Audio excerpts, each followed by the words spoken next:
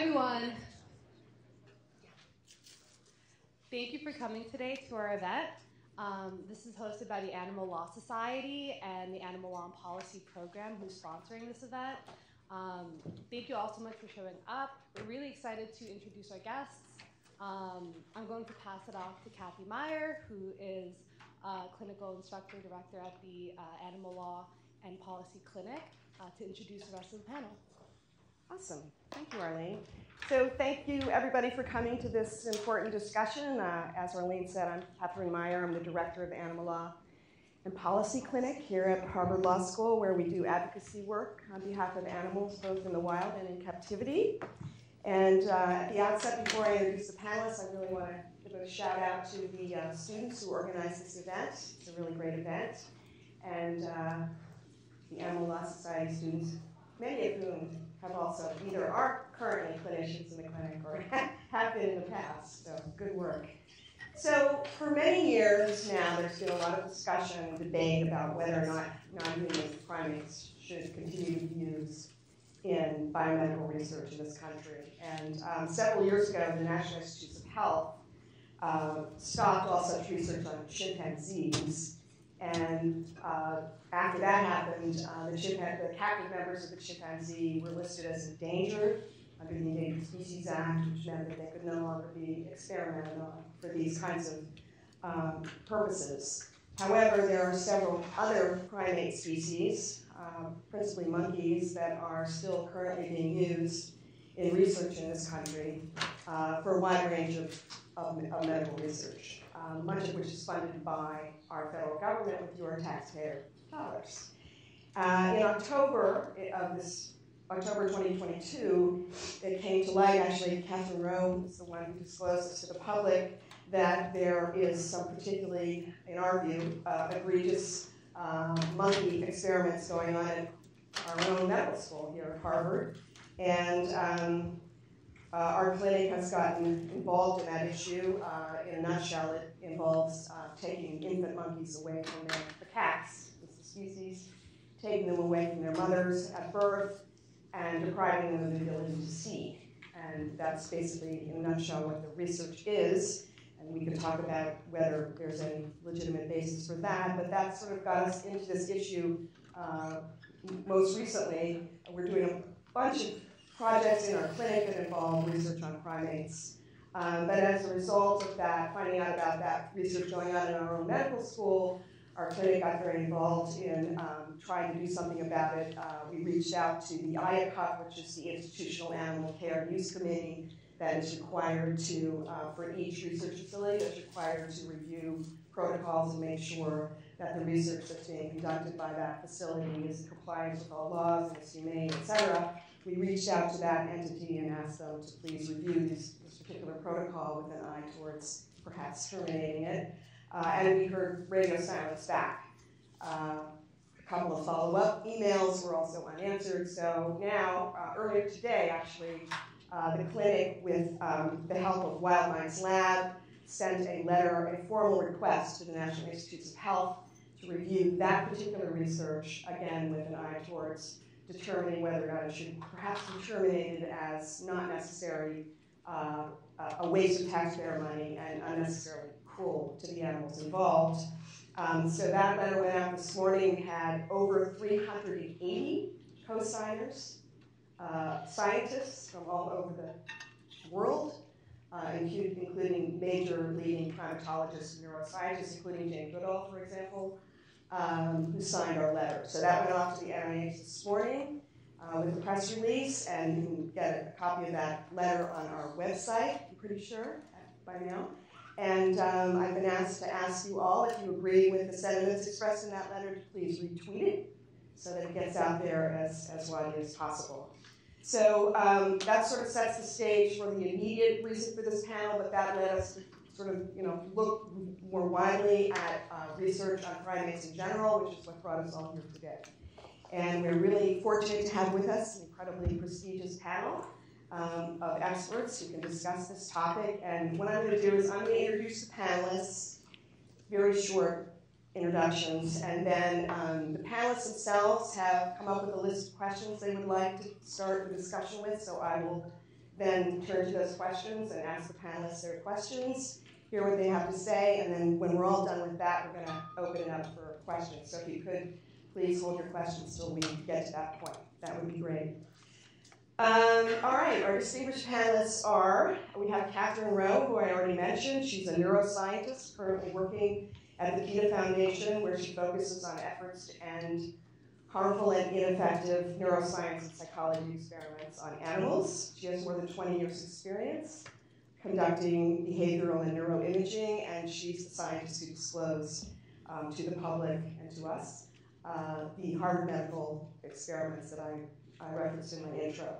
So thank you for being here. We have Larry Carbone right here, who is a veterinarian with a lifetime focus on protecting um, welfare for animals in laboratories. He received his veterinary degree at Cornell, where he also obtained a doctorate in history of science and veterinary medicine.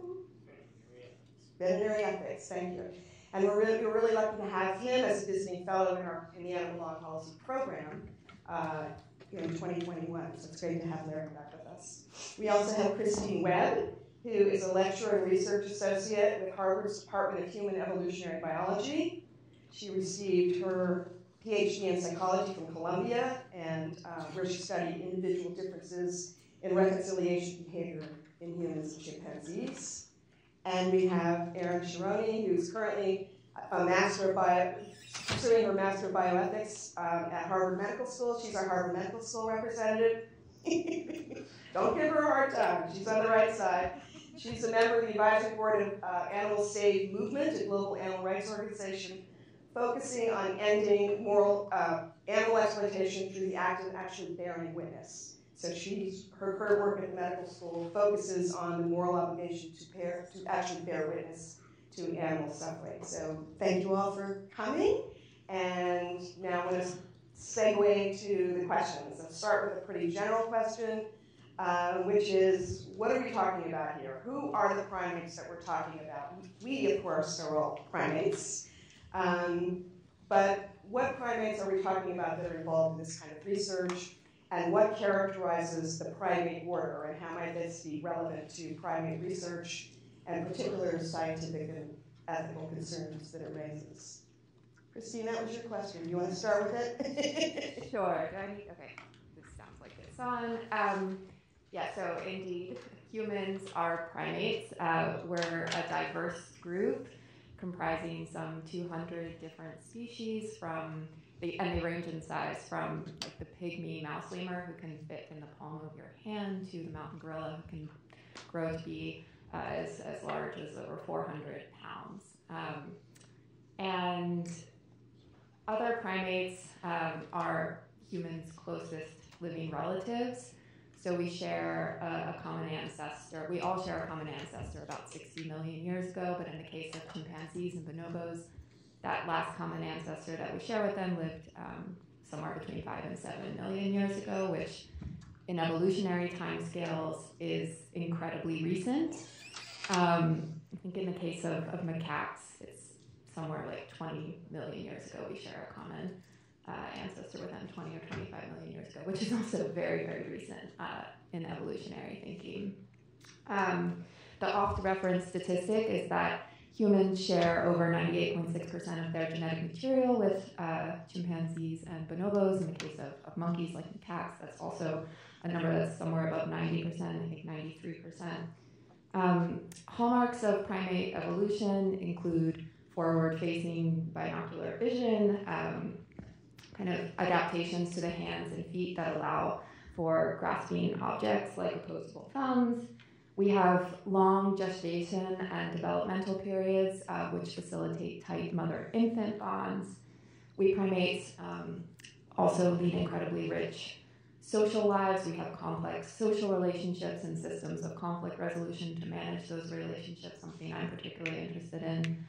Complex emotions um, like empathy, all kinds of um, complex communication capacities. Um, evidence over the last several decades has clearly indicated that other primates are also um, exquisitely sentient and self aware um, and have the capacity for tool use and complex cultures and social learning. And all of these uh, capacities that we long thought were human unique. So, in many ways, I think other primates really kind of blur this supposed boundary between humans and other animals.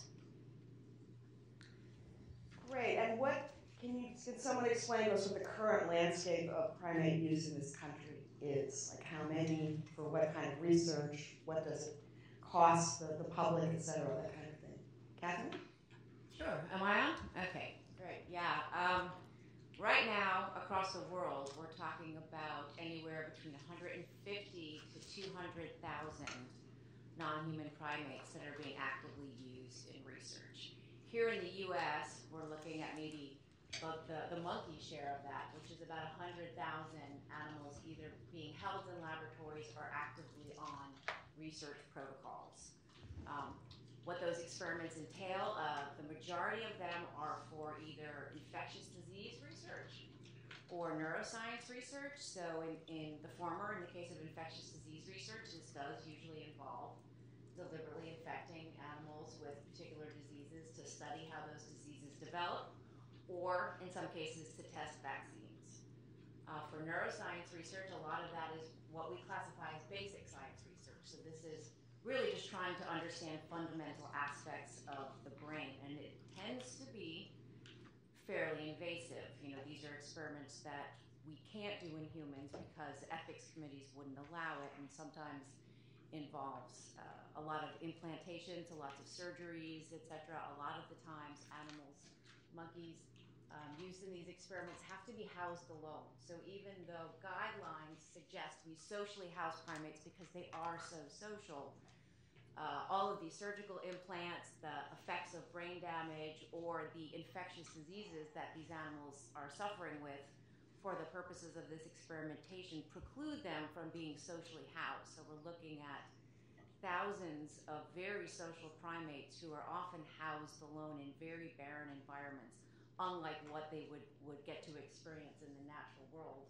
And of course, that affects the data. So I just want to point that out that once you take an animal out of the wild and put them in a lab, regardless of what you're trying to test, taking them out of their natural habitat uh, preventing them from doing any of their natural behaviors affects all of their systems, but most most affected are their uh, immune systems, which is where they're being studied, and their brain, which is where they're being studied. So basically, the laboratory environment most likely negatively impacts the quality of the data in the two areas that these animals are being used the most. Excellent point, very important point. And can you also spend a couple of minutes just explaining sort of what the regulatory oversight or lack thereof is? Sure. I mean, it's a little bit of both. So, so on paper, in theory, it looks pretty good. You know, I, I did neuroscience research uh, at NIH, who is the funder of most of this here in the U.S., and assumed because of all the paperwork that's involved with experimenting on animals that the oversight was really, really good. That uh, animals were only used in experiments if it was absolutely necessary and somebody was evaluating that. Uh, animals are, are being used with minimally harmful procedures, and somebody I thought was overseeing that, um, and that it was always going to benefit humans in some way, that the data we were getting. So, so right now there are more guidelines for animal use in laboratories. Um, so as I mentioned, uh, primates are supposed to be socially housed, but it's possible to get what are called scientific exemptions. So if you have a what is a scientific justification for keeping a monkey by themselves in a cage, you can get that.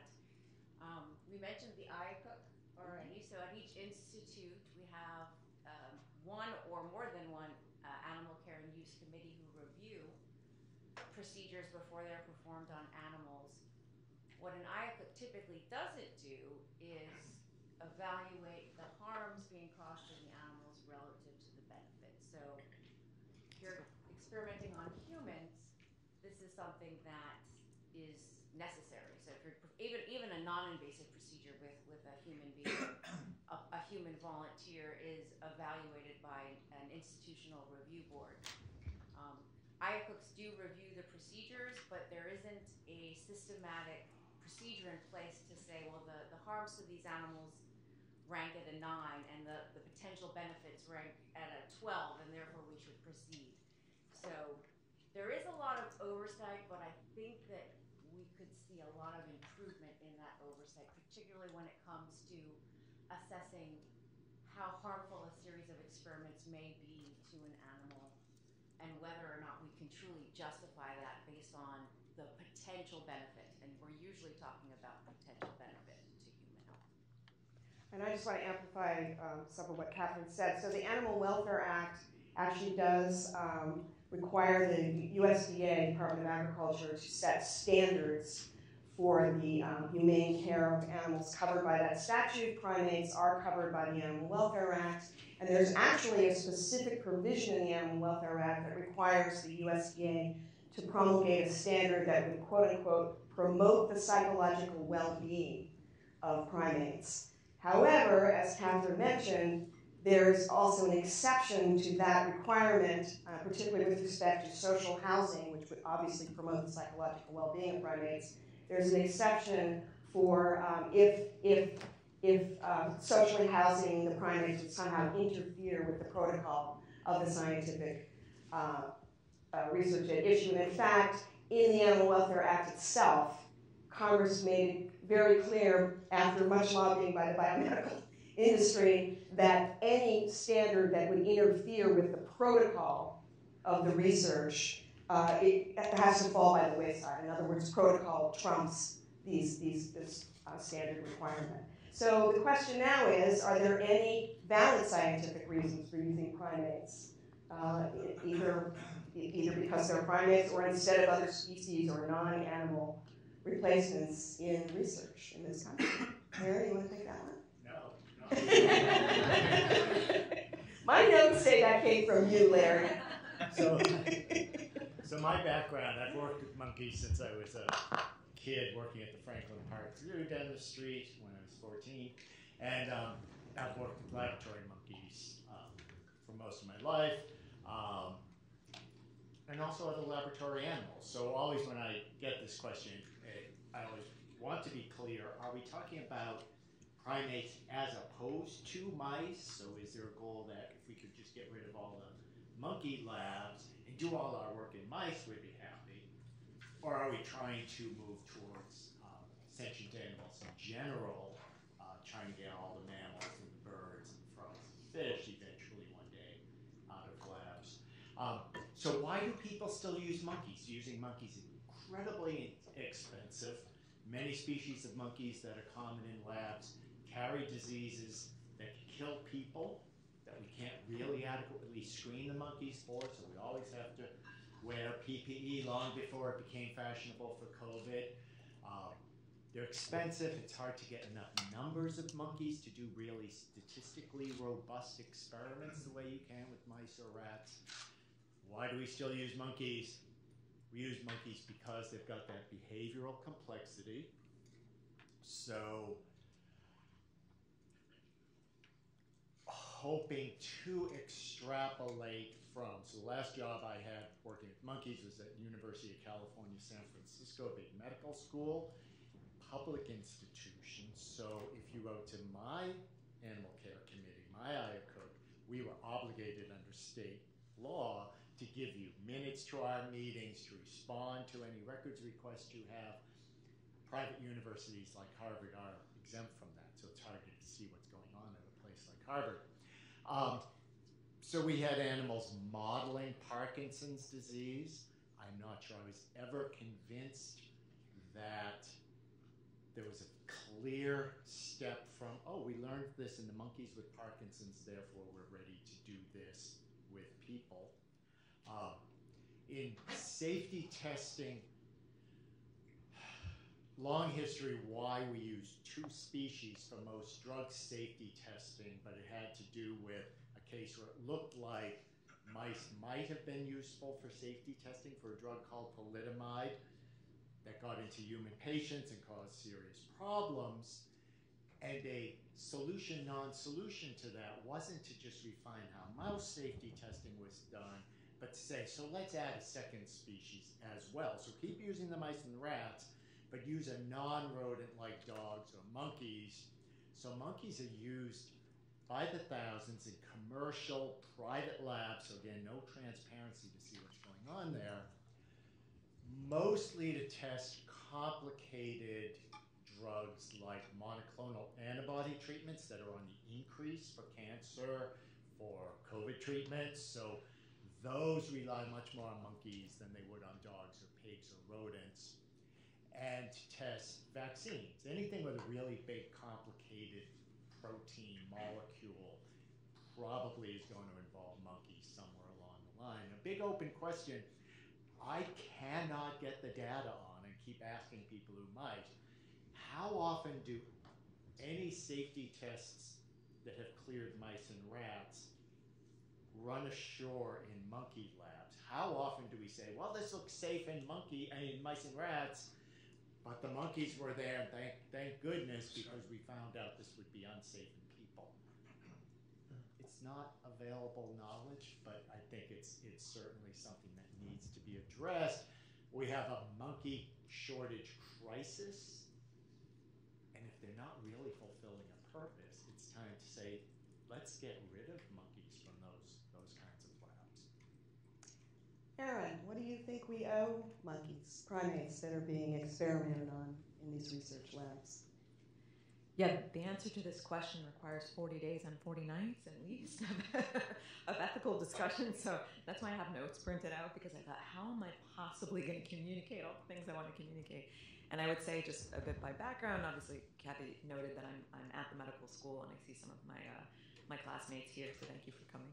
Um, but we're in the bioethics program, and if, if there is a program that should sort of be um, the ethical watchdog, uh, of the institution, it should be us. And so I think it's very important uh, for us to think critically and speak up when we think that uh, there's some injustice uh, being done. I also would add that um, I am, I'm not just fresh out of uh, my undergraduate degree. I've had 15 years of work experience, nine of which has been in the biotechnology industry. Uh, and during that time, um, I also was involved in animal experimentation in rodents. Um, I did not do those experiments directly, but um, in some cases, uh, helped to design the experiments, so indirectly, um, and I would still say that I was involved, and that's part of what moved me towards uh, the field of, of, bioethics and ultimately activism. Um, as Kathy noted in my work with Animal Save Movement. So I just want to give that context so that people don't think, uh, you know, not that you should write an activist off, but oh, this person doesn't have any real world, real world experience. I, I, I do, and that's what drove me here, um, and that's why I'm so passionate about it. And I think it's so important and very appreciative of what the Animal Law Society and the clinic do here. Um, so, I mean, I'm going to say at a high level that my answer actually applies to all animals because I believe all animals deserve moral consideration and have interests and rights. Um, but this is a primate panel. Uh, and so, to answer the question most specifically of what do we owe uh, primates, if anything, in biomedical research, I will quote uh, Aysha Akhtar, who actually was quoted in the New York Times uh, a few weeks ago. She's the co founder of the Center for Contemporary Sciences. She's a neuroscientist and formerly with the FDA. And she said, What we owe uh, animals is to legitimately replace their use in medical research. Um, and I would add to that that we owe them dignity and respect, that we owe them um, freedom from harm. They cannot consent. Uh, and when we think about primates, you know, as, as Larry pointed out, there's obviously this big paradox here because they're so much like us, yet we're perpetuating these, these harms. And I, I, I think from just purely an ethical perspective, and the, the, science does intersect with this on the Venn diagram, but from an ethical perspective, I, I do think it's morally indefensible. Um, it's really difficult to justify the way that we treat other sentient beings, particularly the ones that we have clear empirical evidence for their capacity to suffer, and Dr. Webb can talk much more accurately about this than I can, as can Larry and Catherine. Um, I have not worked with monkeys, but I know that there's there's very clear evidence of their suffering, uh, particularly when we think about what's happening at the medical school, uh, which is why, why so many of us are involved um, in trying to change that now. Because if you think about maternal deprivation and what that might do to a human, uh, does a macaque monkey not feel a fetus growing inside her and form an attachment to it? Does she not grieve for her baby? I mean, these are all things that we're very well aware of. Um, and so there's the question of what are we really learning from some of this research, as Larry alluded to, um, and then is it ethically justified? And as someone who works in biotechnology and is, has a very big interest, um, and I'm studying actually um, the alternatives to animal testing, right here at Harvard, at the Wyss, and in other labs, people are developing extraordinarily powerful tools that just require additional funding for validation. And, and yes, animal testing alternatives are not 100% there yet, but they're getting there.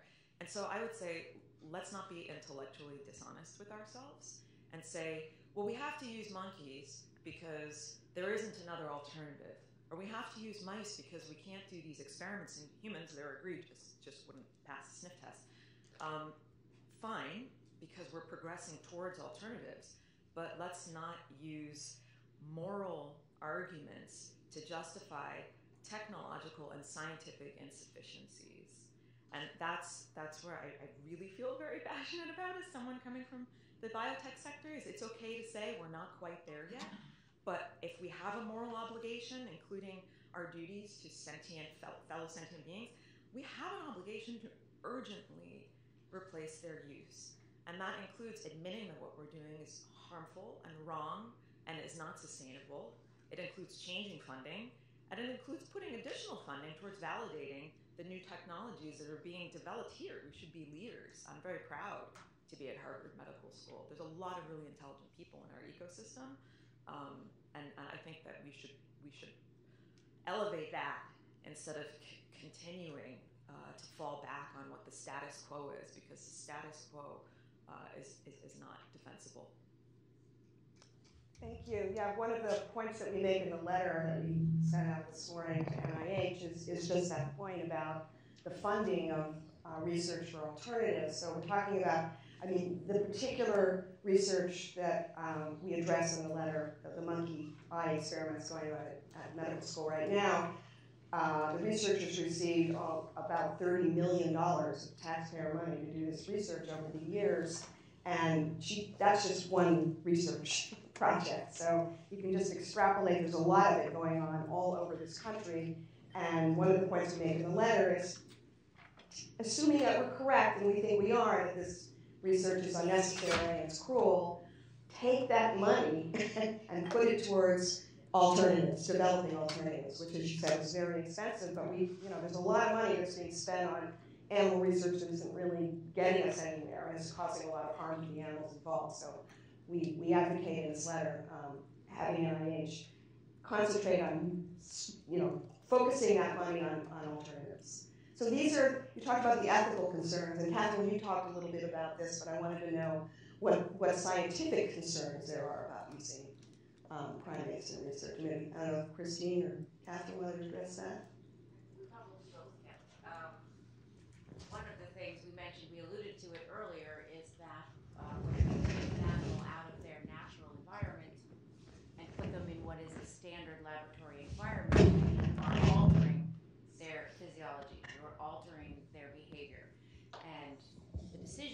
Primates is often justified because they are physiologically more similar to us or they are behaviorally more similar to us. That's not true in a laboratory environment, and the data consistently shows this that putting an animal in a cage, taking an animal away from its mother, taking an animal away from their social group, you know, uh, anything from routine laboratory procedures to the more invasive procedures that often go on alter their physiology so that the data that we're often getting from these animals won't even apply to their wild counterparts. So it does interfere with the likelihood that that data could apply to us, which is usually the justification that's given. Additionally, we do talk a lot about genetic similarity, um, but what's become much more apparent is that even if you share 98% of your DNA with what makes us distinct from even very genetically similar species is gene expression.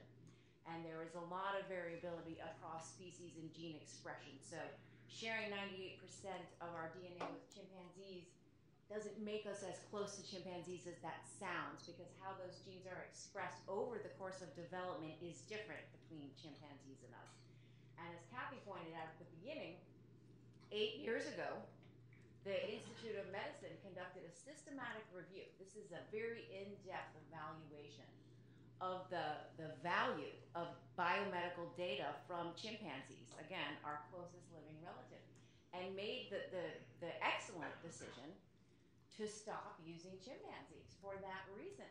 So if chimpanzees, which again are our closest living relatives, aren't giving us the data we need, how can a rhesus macaque, or how can a mouse lemur, or how can a marmoset, or a mouse, or a rat, or a Drosophila, all of which are animals that are being harmed in laboratories with the justification that somehow it's going to benefit benefit any one of us. And of course, when you look at drug drug safety and efficacy, which Larry alluded to is one of the areas where we know they do use monkeys, those failure rates are really high. We have measurements on those. We have measurements of drugs that tested safe and effective in non-human animals, including monkeys. And that failure rate is sometimes 100%, depending on, on the type of drug and what disease it's, it was meant to treat. So again, we're using hundreds of thousands of primates across the world. We're using tens of millions of mice and rats here in the US for science that isn't necessarily good science. And it's costing a lot of money, which could be invested in non-animal research, you know, and there are patients, you know, patients are suffering with diseases that we don't have cures and treatments for. Animals are suffering in laboratories, giving us data that might not actually ever be useful. We can do better. Science can do better, you know, and, and I agree with Erin that we have a moral obligation to stop doing harm to these sentient creatures, and we know they're sentient. Do you want to add anything to that, Christine? I mean, yeah, no, I could just reiterate that um, when animals, when other primates are housed uh, in these socially and physically deprived environments and subjected to um, you know repeated and uncontrollable interventions, their welfare suffers. They develop stress and anxiety, and as Catherine was saying earlier, that affects um, you know brain function and immune system function. And a core assumption of a lot of biomedical research is that the animal models being studied um, embody healthy biological individuals, and we can't really make that assumption. Um, and so, and then just to add one more thing is that a lot of scientists really value something called ecological validity, which is the extent to which uh, your findings generalize to real world contexts. And you might have heard that um, in scientific fields like psychology and in biomedical studies, we're amid a replication crisis right now, in part because um, of the lack of ecological validity, where findings in these highly controlled laboratory environments do not generalize to real world contexts. Um, and I think that's something like as a scientist, I learned throughout my training that being the more sort of control you can have in an environment, the better, right? So that these laboratory conditions allow you to control for all kinds of extraneous variables, and then that can sort of boost your confidence that your result is due to uh, your manipulation and not some external factor. But of course, these environments themselves are harmful to the animals in all the way that we have already covered.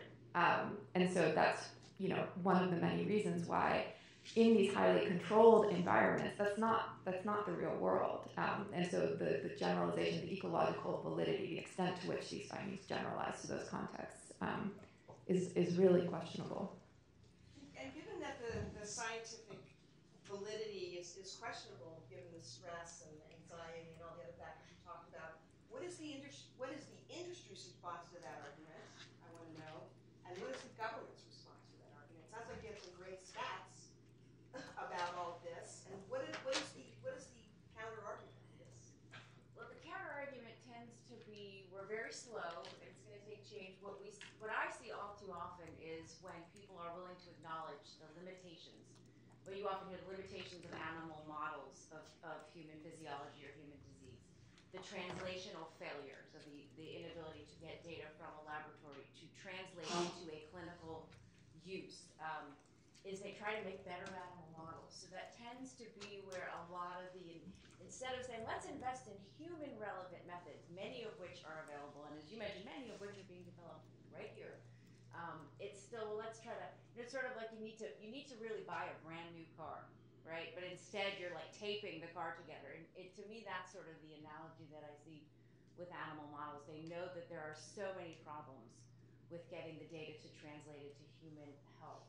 But instead of saying, you know what, we need to, we need to, we need to abandon this at this point. We've invested too much time, we've invested too much money, too many animals are lost their lives. Instead, they're taping it together. You know, they've got, and, and what we really could do is, you know, take all that money that we're trying to tape all these crappy cars with and, you know, buy a Ferrari, you know, which, the Ferrari is the human relevant research methods, which are available or being developed as we speak. Um, so the, the response from the scientific community is, is not what I would especially for the scientific community who I would always hope would evolve with new information. But unfortunately, that's not the situation, or it's not what we see as often as I would like. Erin, seemed like you wanted to add something to that. Yeah, no, that's very well said. Um, I think also, and I took this, I did a lot of research before this, and I took this from something that Dr. Webb had written, this wonderful article, I think it was a few years ago maybe, um, where she said, you know, a lot of science stops short of considering the ethical implications of its own findings. That's supposed to be part of what IACUCs are responsible for. Should we even be doing this research?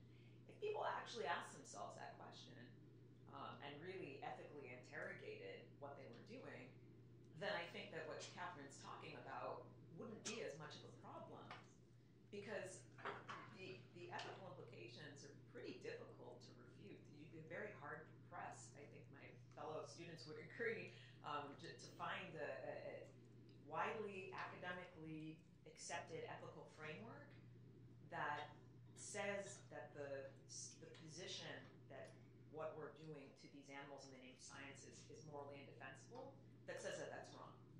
You may find people being able to reverse engineer their way into justifying certain things, but it's very hard to refute the assertion that, that there's something very wrong with this. And so, to Catherine's point, you have to dismantle what exists already. Larry?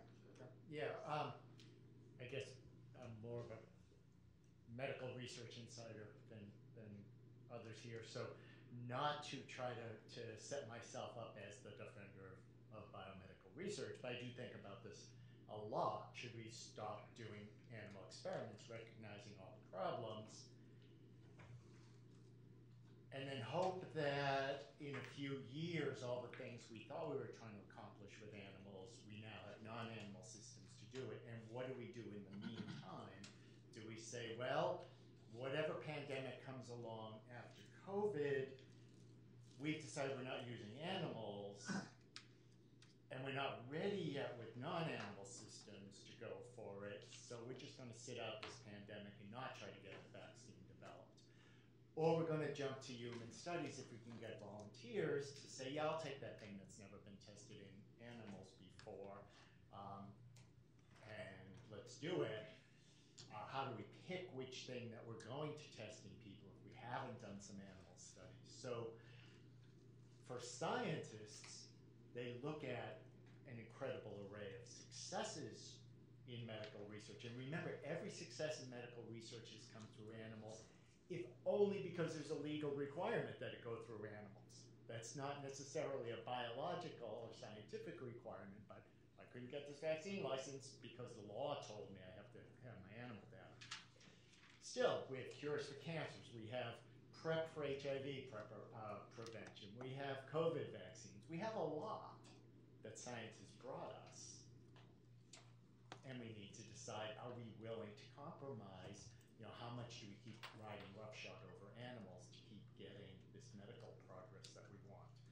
Um, so yeah, and, and the concern about these are skewed animals that we're working with is very true, which always makes me extra skeptical about anything that has an emotional readout, a behavioral readout, um, a mental health readout for animal models. I'm incredibly skeptical, but I'm trained as a vet, so I tend to think of things like infectious disease. I tend to think of neurology rather than psychology. So a monkey who's not thriving can still give data on when a light shines in the eye, this is the part of the brain that lights up it. So this is highly reductionist sort of thing. Is that important information? I'm not the one to make the case it is. But is it possibly believable data that yes, this is the part of brain that does this. Uh, these are some of the neural networks that process that, even in a, a monkey who's unhappy, whose biology is affected by that unhappiness and that stress. There's still ways of, of getting some information out of those. And, and there are other times, a friend of mine does diabetes work in monkeys and says, everybody who grabs a monkey to get a blood sample to test sugar levels in diabetic monkeys, grabbing a monkey and sedating her to do that completely invalidates your data. Training a monkey to present an arm to cooperate with the study is a different way. So for scientists, often the response to critiques is, but we could do it better, versus, oh yeah, maybe we should just stop and. We can always tape it a little bit better, right? But isn't there also a conflict of interest that's kind of built into the whole system? I mean, these are people who are getting, in, in, when it's federally funded research, they're getting millions of dollars of ta- taxpayer money to do this research. It's, it's, it's unlikely, it's just human nature that they're not gonna say, oh, I'm gonna stop doing my research that I, that I'm being funded, and the, the grants are renewed time and time again.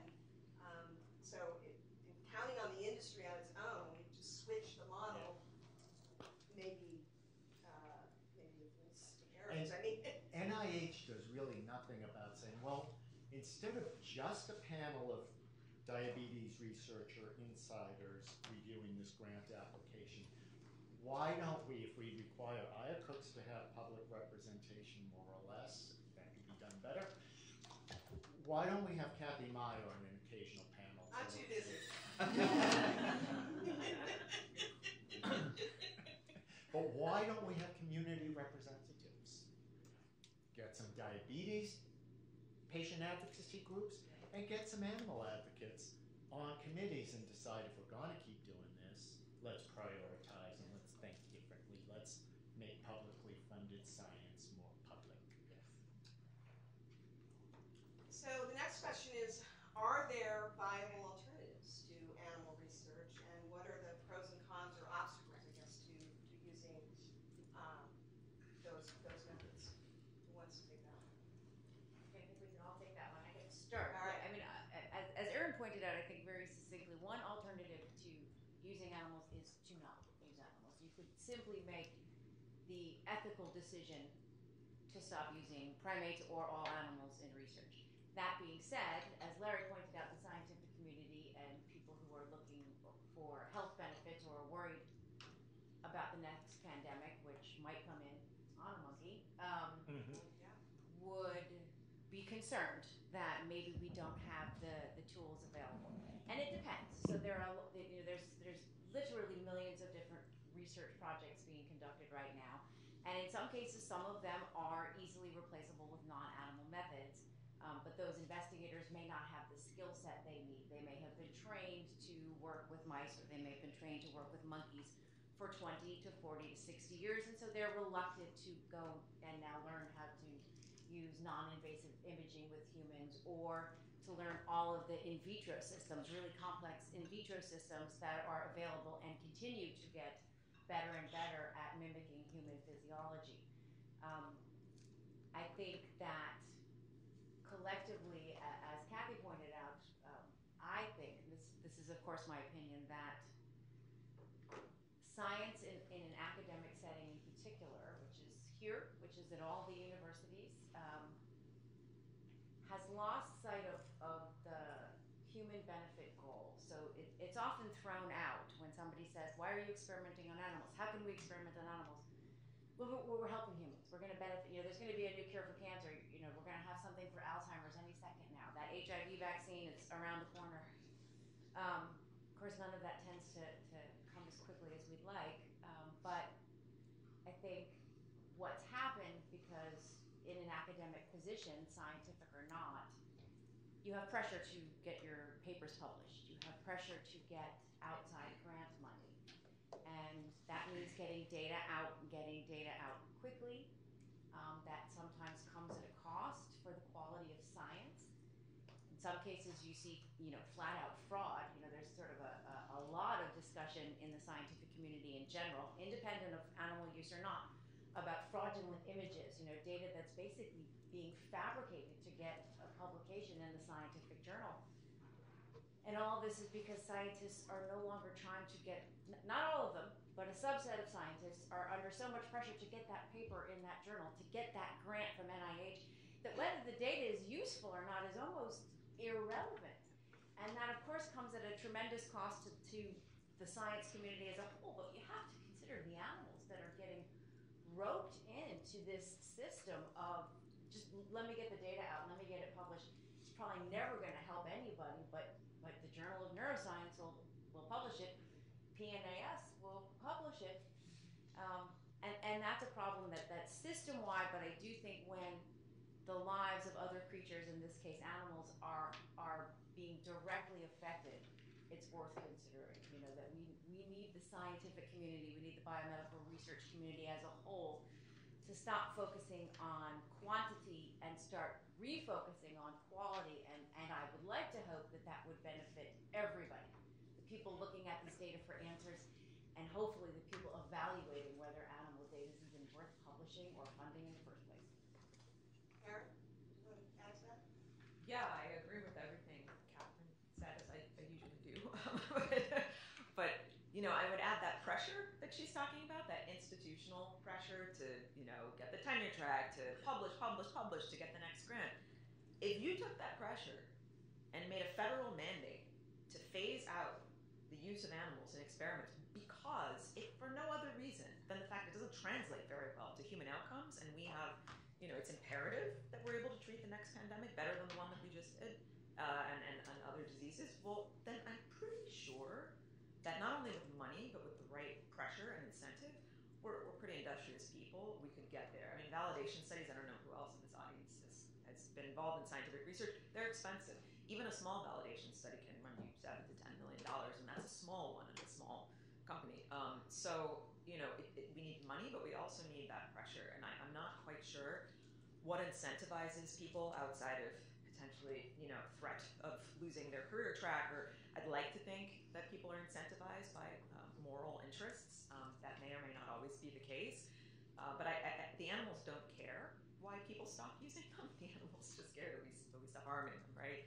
And then I would also add to Larry's point, which is a very valid one, um, is I, I, I don't think it's one or the other you know, even if we're striving for abolition, we have to realize we talk about this in ethics a lot that there's the ideal world, but then there's also how do you get to the ideal world? So, look, in order to get to animal free alternatives, we're going to end up killing animals and, and harming them. That, that just is the case unless there's a paradigm shift and something changes. Um, but I mean, if you just applied like a utilitarian ethic to it, you could very easily say, okay, well, we might, you know, harm or kill a million mice today to get to the point where we don't have to use them anymore, and then we spare a billion. So, I mean, even a very simple rubric can sort of get you there. Um, but I do think it's important to, to, to, acknowledge that that it's not 100% um, effective, those alternatives yet. So we, we, we do have to take that into consideration. But pressure is important.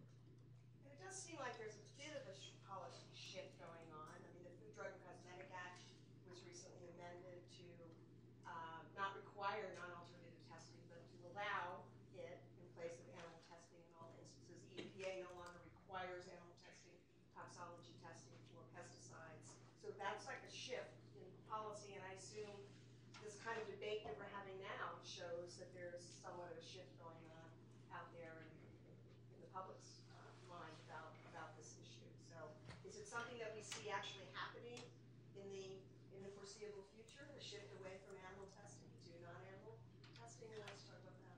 Well, I'd, I'd say, especially in the realm of safety testing, there's a brilliant campaign in the 70s, I think, um, where an activist, not a scientist, got wind of what happened to rabbits in safety testing for things that could go in eyes, whether it's makeup, contact lens solution, whatever. And through his activism, really pushed scientists, uh, pushed the cosmetics industry, pushed the chemical industry to fund research and alternatives. Uh, we talk about cruelty-free cosmetics. There aren't a whole lot of cruelty included cosmetics because the state of the art now is you don't test stuff for eye safety in rabbits anymore, or mice or rats. We have synthetics, we have tissues.